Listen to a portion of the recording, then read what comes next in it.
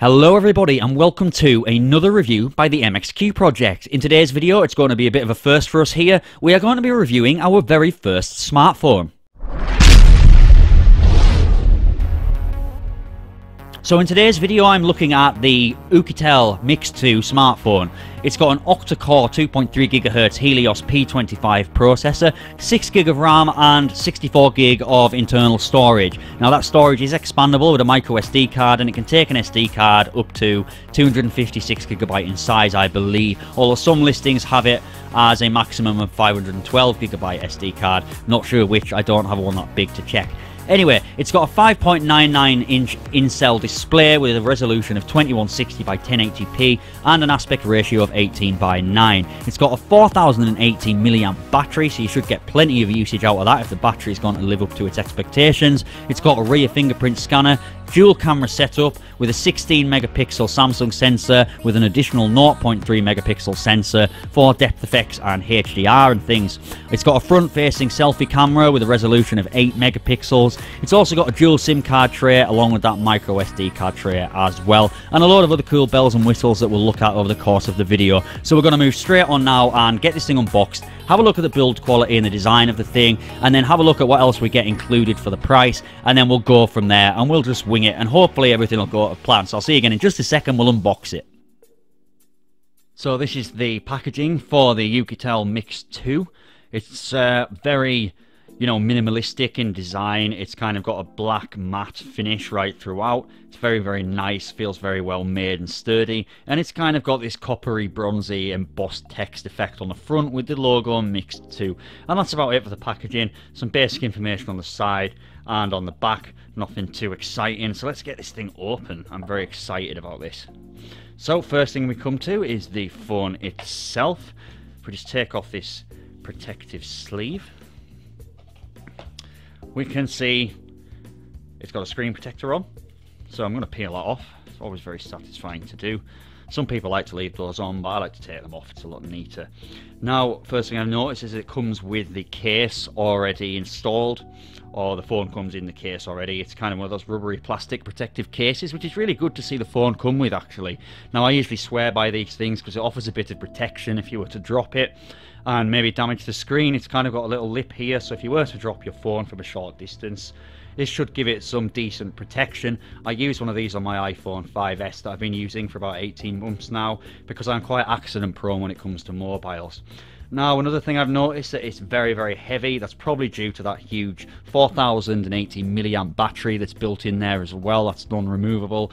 And because of its huge 5.99 inch screen size, has a resolution of 2160 by 1080p and an aspect ratio of 18 by 9 according to the spec sheet which is very, very big indeed, and probably why they've taken to calling these devices phablets. Um, if you're familiar with some of the Chinese retailers, they kind of market them as 4G phablets rather than a phone or a tablet. But yeah, it's very big, very heavy, but it feels very, very sturdy and it's very, very comfortable to hold. So let's have a look at the device itself.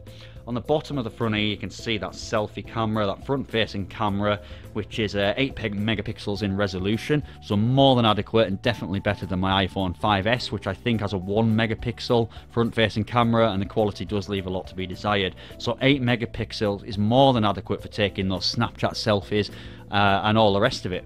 So if we turn the phone over here, we can see we've got a dual camera setup on the back, hopefully that's in focus. One of these cameras is a 16 megapixel Samsung sensor, and there's also a smaller, less powerful 0.3 megapixel sensor as well, and that's used to kind of add some depth effects to your photos. But it's nice to see a dual camera setup on such a budget phone. This ring here is your fingerprint sensor, which I'll show you a bit later on. On the side here we have the SD card and SIM card tray. Now it's got a dual SIM card tray on there so you can have two nano SIM cards in there. You can also fit an SD card or a micro SD card rather up to I think the Gearbest listing has it at up to 512 gigabytes but some reviews and some listings say that it can take up to 256 gigabytes micro SD cards. Now I don't have any SD cards that large um, so I'm just going to have to take the word of the spec sheet here. It's got the volume controls on the side here and a power button as well. Pretty standard stuff. Now I'm excited to turn this on, but let's have a look in the rest of the box first and see what we get in there. So we set this down for just a moment. We have some more needless packaging. We have two compartments here. The first compartment is your mains charger. They've sent me an EU one as per usual with these things, but I have an adapter for this. I also have plenty of USB to mains adapters. Pretty standard stuff, looks pretty smart and well built. Second compartment here, we have the charge cable, which is a micro SD, uh, micro USB rather cable.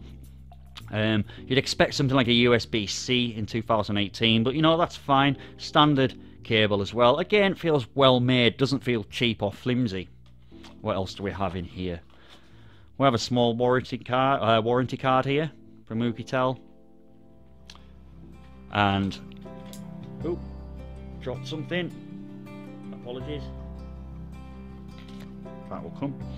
Uh, we have the uh, instruction manual, and it seems very detailed compared to some of the Chinese manuals, but usually these tend to be pretty useless.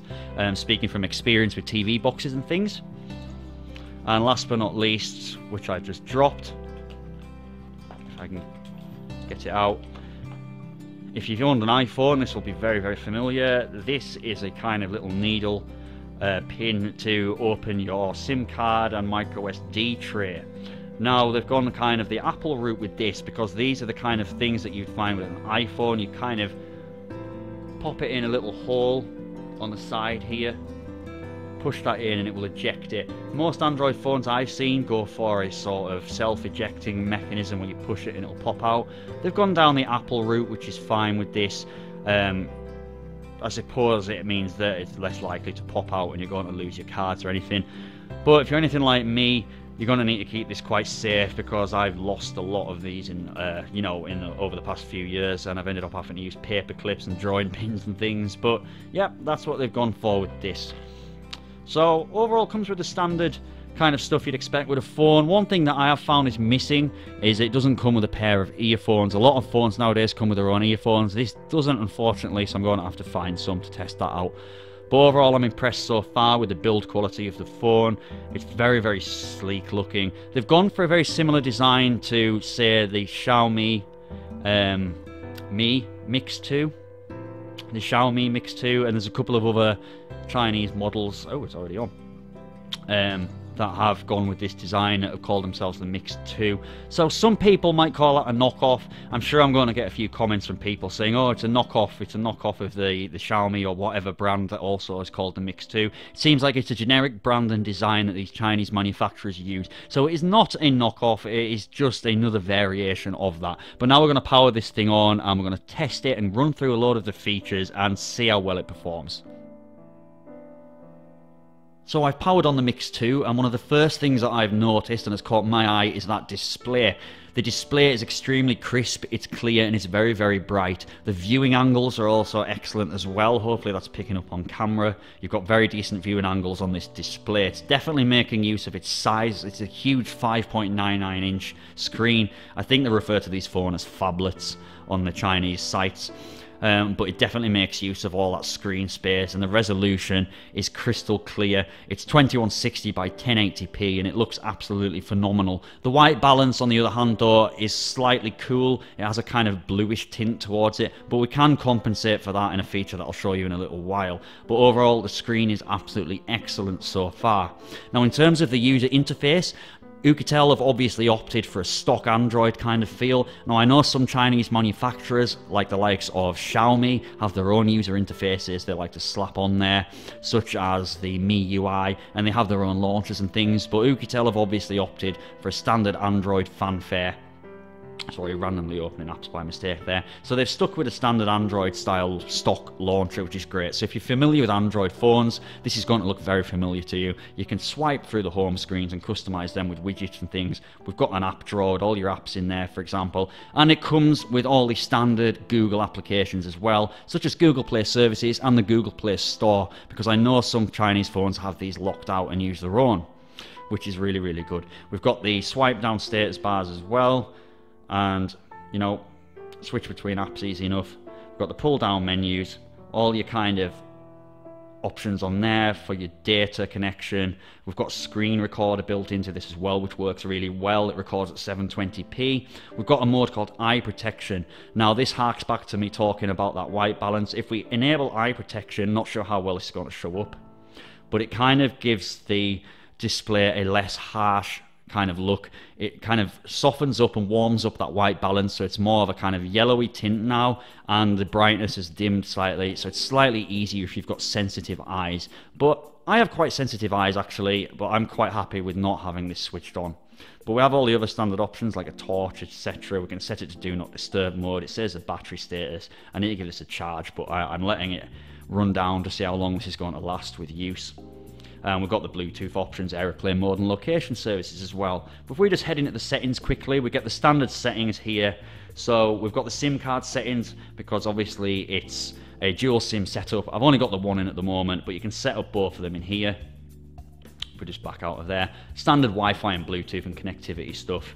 Display settings. Not going to go into too much detail with this and we have security settings. Now here we have the fingerprint settings as well because this has that built-in fingerprint scanner on the back and you can register as many fingerprints as you like with this. So you could literally get it to register every fingerprint on your hands or someone else's hands if you want to give them access as well.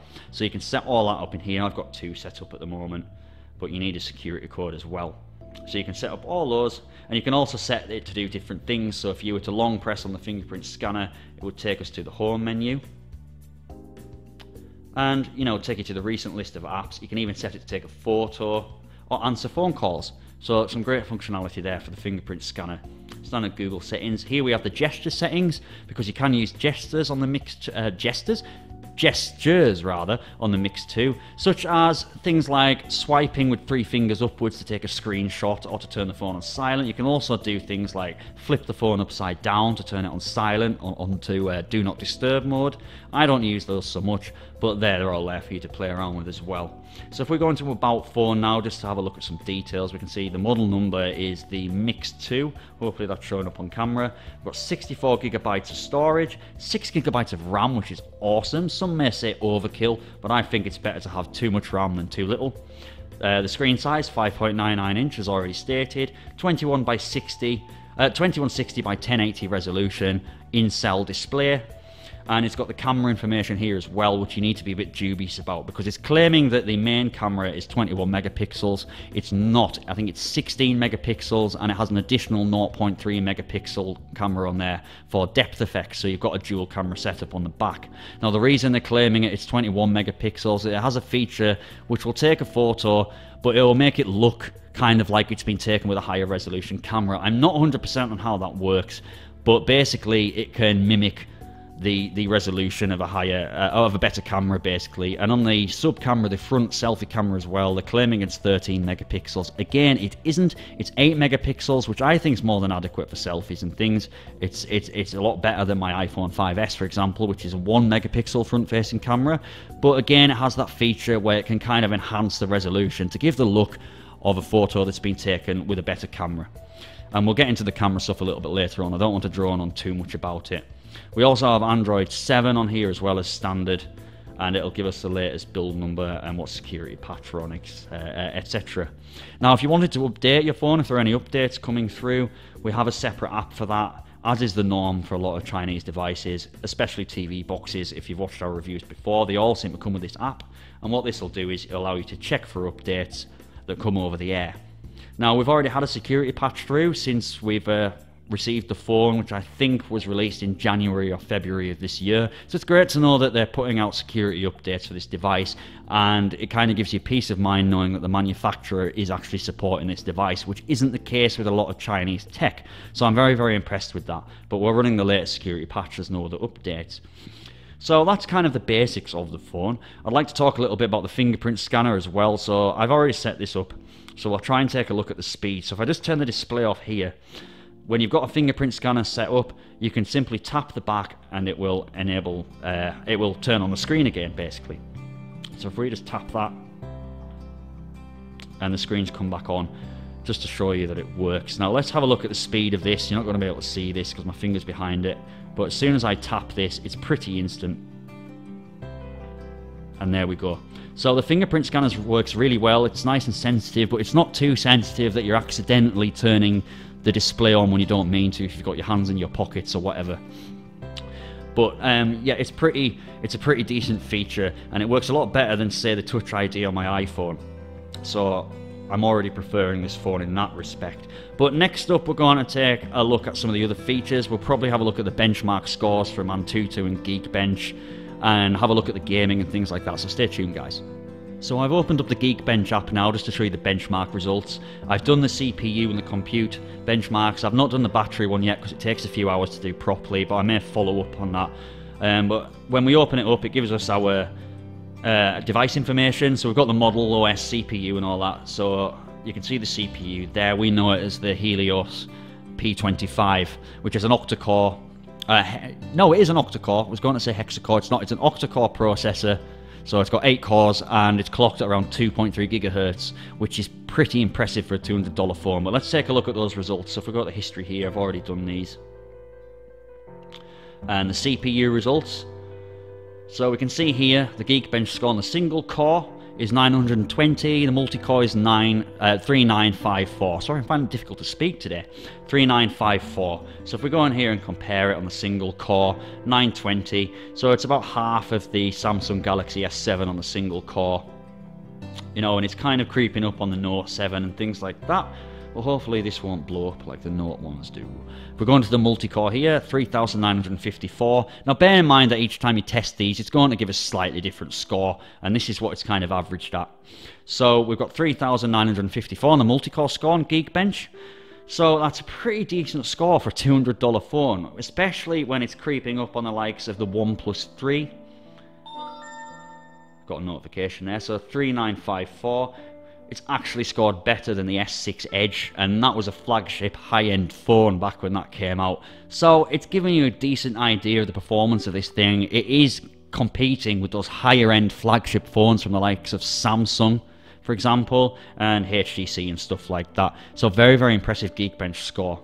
So if we go ahead and look at the Antutu score now, because I run the Antutu benchmark as well, if we just boot this up, and it's got a very acceptable 78,380. Now I think we can go and compare this. So we've got all the different scores there. So on the CPU it scored 33,378, on the GPU 18,293, on the UX it's scored 21,399 and the memory scored 5,310, which I'm pretty impressed with. Again, if we go and compare this, it's just going to load up the ranks of the others. So around 78,000 if we take a look at some of the other higher end devices and compare it to those for example. So these are the big boys here scoring over 200,000. So it may look not like much in comparison to these models. But, you know, I'm still pretty pleased with it. Ours is just at the bottom here compared to these. It seems to have compared them to a random selection of phones here. But, you know, I think it's not done too badly and even doing things like switching between apps, it's quick, it's fast, it's making use of that decent processor. 2.3 gigahertz it's been clocked at the Helios P25 and it's making use of that RAM as well, so you can switch between apps very, very quickly. So let's kind of put that benchmark to the test now, and we'll test a few games. So I've loaded up Asphalt 8 Airborne now, and this is on the highest visual settings, which is what it defaulted to. And so far in this opening cutscene, it doesn't seem to be struggling too much. And gameplay-wise, Oh, nice one.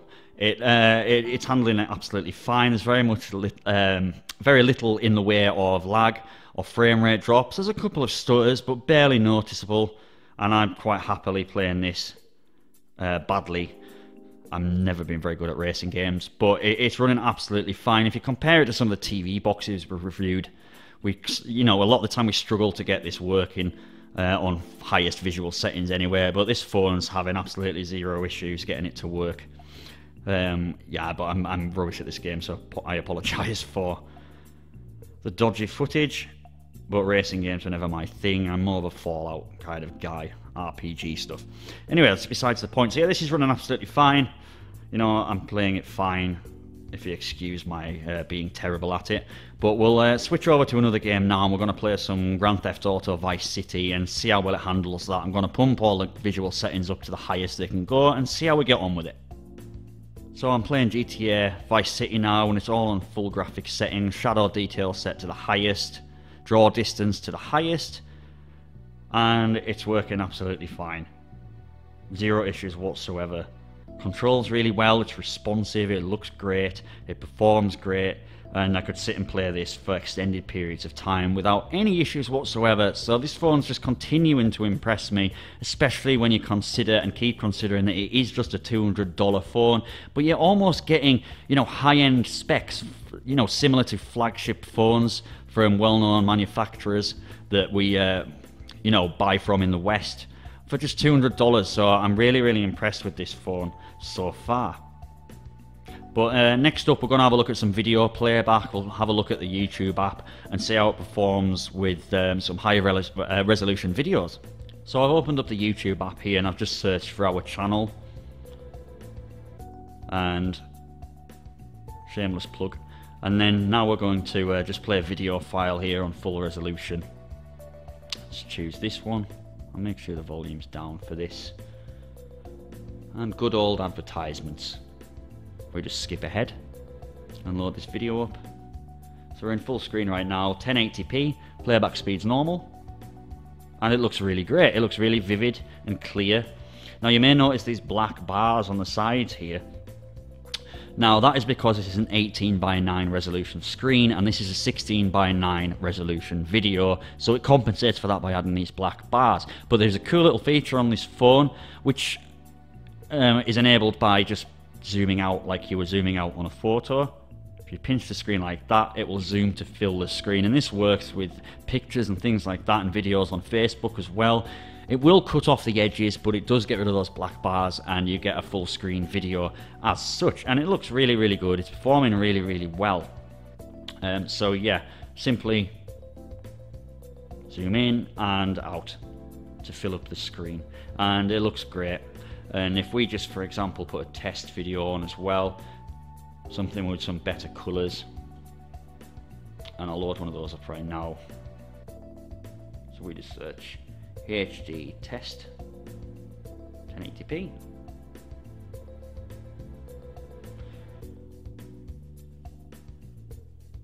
Again, I'm not sure how well this is showing up on camera. But you know, it's looking pretty stunning for me. Color color reproduction is great.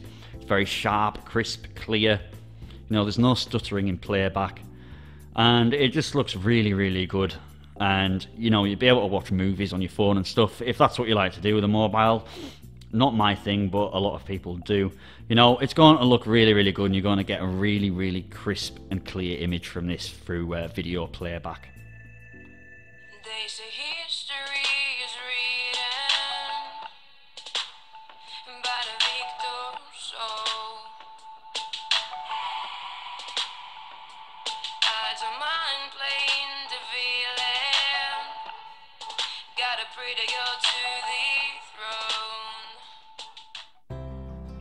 And speaking of video playback, I've uh, brought up the DRM information for those of you who uh, are interested in that sort of thing. And if we scroll down, we can see that it is only level 3 supported. So it's only got level 3 Google Widevine DRM protection, which means you're not going to be able to do things like view Netflix in full HD, and you're going to be limited to a maximum resolution of 480p if you were using apps like Netflix. So, unfortunately, no HD Netflix out of the box on this device.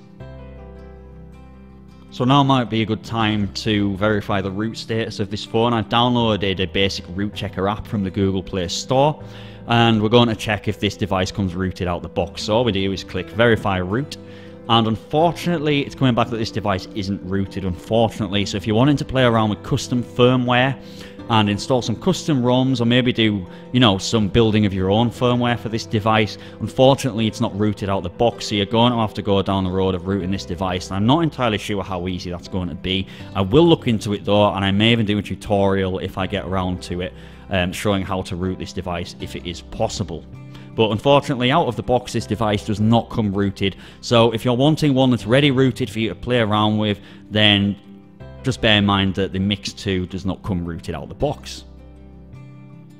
One thing I do need to talk about in this review, and I cannot forget to, is when you're buying this phone, you need to check that it's going to be compatible with your network's GSM band, which means that, you know, these phones are programmed to work on certain frequencies and certain GSMs, and you need to make sure that it's going to be compatible with your network. For example, I'm in the UK and I'm on the EE network, and I'm getting a full 4G signal. Not sure how well that's going to show up there you could just make out I'm getting a 4G signal. And so that is going to work in the UK with most networks I would have thought. So you're going to be able to get a full 4G signal. So if you've got a 4G plan and the information will be in the link in the description of what bands that this phone runs on but it is compatible with E and you're going to get full signal and a full 4G service if you've got a 4G data plan. Now I have done a little bit of research and looked at some other reviews and they have stated that in the USA it may be difficult um, with your network to get anything more than a 2G data signal, which in this day and age is quite slow, but you know, it's better than nothing. But just make sure before you buy it, you double check that you're going to be able to use it with your data plan, otherwise, you're not going to get the full benefit of your plan. So I'm lucky, I've got a 4G data plan and I'm picking up a 4G signal and it's programmed to work with UK networks. But if you're in the US or another country, you need to do a bit of research on this. It's too much detail to go in in today's video. We may do another video again um, kind of showing you how you can tell whether a phone's going to be compatible with your network in your country. But just bear in mind, have a look at that GSM information in the link in the description if you're considering buying a Chinese phone and make sure it's compatible with the wavelengths that your plan and your network provider uses as well. So next up, we're going to take a look at the camera. So I've opened up the camera app and surprisingly they've gone for a more of an iPhone style of camera. So the way you switch between modes is all set out very much like on an iPhone camera. And I've used an iPhone for many years, so this is familiar to me. If you haven't used an iPhone, or I've never been interested in, or I've never seen one, then this is how the camera is kind of set up on them. It's emulated that. Um, it, it's easy enough to use. You just swipe between modes as such. So the first thing we start off on is the standard automatic photo mode. We've got options up here we can enable HDR. We have settings to change the image quality um, and things like that. You can also turn on face detection, location, geotagging as well. So all pretty standard camera fare. But um, you know, it looks really nice. It focuses very well. It's very sharp. Sometimes though, if you want to take a shot really quickly, it can be a little bit slow. Or if you're taking a photo and you want to grab a quick video, there's a little bit uh, uh, you know, a second or so's wait between switching modes, which may be a deal breaker for some people, but for casual users like me, it's fine. So we're on the video mode just here and the video can actually record up to 4K, which is impressive. I'm not going to test the 4K on this video again. I'll do a separate video and I'll upload the raw 4K footage for you guys to have a look at and see if it's worth the time. But you can choose between 4K video, 1080p video, 720p video, and 166p, I believe, so quite low resolution. But you've got a few modes there for the video recording. And if we go back into photo mode, if we click this little arrow on the side, we are presented with a load of kind of Snapchat style, Instagram style filters. Now, I've got none enabled at the moment. We have inverted, whiteboard, blackboard, you know, and the kind of vintage style and monochrome styles of Instagram. You've seen all these before. They've got different names all across the board, but you can it gives you an idea of them all. It gives you a little preview, which is good. If we go across one as well, we have a mode called Face Beauty. Now, this is more for selfies. It kind of adds a dreamlike effect to the edges of the photo. I'm not sure if that's picking that up as I'm sliding the effect along. We may have to turn the camera around to the selfie mode, which I'll show you a little bit shortly. We've also got a blur mode here as well, which makes use of that additional 0.3 megapixel camera. If I just bring this vase into uh, into frame, for example, not sure how well this is going to work. We're just focusing on it. As such, the focus can be a little bit slow as well, but we can basically turn the brightness up and down and it kind of adds a false kind of depth of field effect. I'm not sure how well that's showing up on camera. It doesn't work that well. It seems kind of gimmicky. It's not a mode I would use, but maybe if you've got more time to play around with it, you know, and I'll take some shots as well with all the different modes and I'll show you them next in a kind of slideshow to give you a better idea of the photo. So I've switched to mono mode now, which is a simple monochrome black and white mode. Again, probably a bit more of a gimmick. There's also a mono filter in the automatic uh, camera mode, so not sure why they've felt the need to include an additional black and white mode, but there you go. Pretty self-explanatory. So the next one's panorama mode, and it's kind of a sweet panorama. When you take the photo, you can go either direction, so we can go this way, and you kind of match up this blue line, and it will kind of beep when you've done it. Hard to kind of do when I'm sat here like this, but it kind of aids you to stitch together a panoramic image. I'll just cancel that just now come out of here. And the last mode is called Pro mode, which is kind of like the phone's manual mode. So you can set things like the ISO and the white balance and things like that. Just like this with these sliders. Set the color and the contrast, etc. So you've got some manual controls on there as well. So now I'm just going to show you a few of the images I've taken with the different modes in kind of slideshow form, just to give you a better idea than in this video of me recording on the screen, just to give you an idea of what the picture quality is like and how the pictures are going to come out.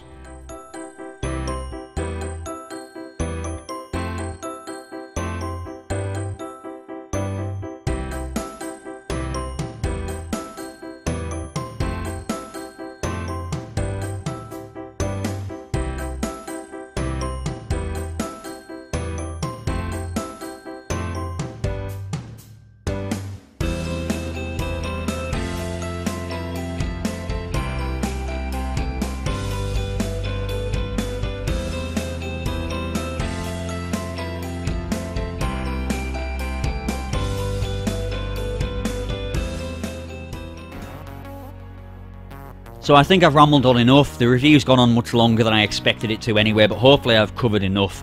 And you know, if I haven't, you can always let me know in the comment section. But overall, I think this is a fantastic phone, especially for $200. So I hope you liked the video today, guys, and it hasn't been too boring and I've not done too bad a job. If you liked it, give me a like and let me know in the comments any suggestions, anything you think I could do to improve, anything like that. Leave me a comment in the comments section. Don't forget to subscribe to the channel and hit that bell icon as well. I can't stress that enough. We're getting plenty of people subscribed to the channel, but nobody's getting notified of our videos because you need to hit that little bell icon to make sure that YouTube notifies our subscribers of when we upload new videos, which is usually two or three times a week. Um, you know, at least, if not more. So make sure you hit that bell icon and subscribe to the channel so you get notified of all our new content. Come over to the website, mxqproject.com, and we're on Twitter at mxqproject and all the usual stuff. All the other links will be in the description, blah, blah, blah. I've been Scott. I hope you've enjoyed the review, and I shall see you really, really soon.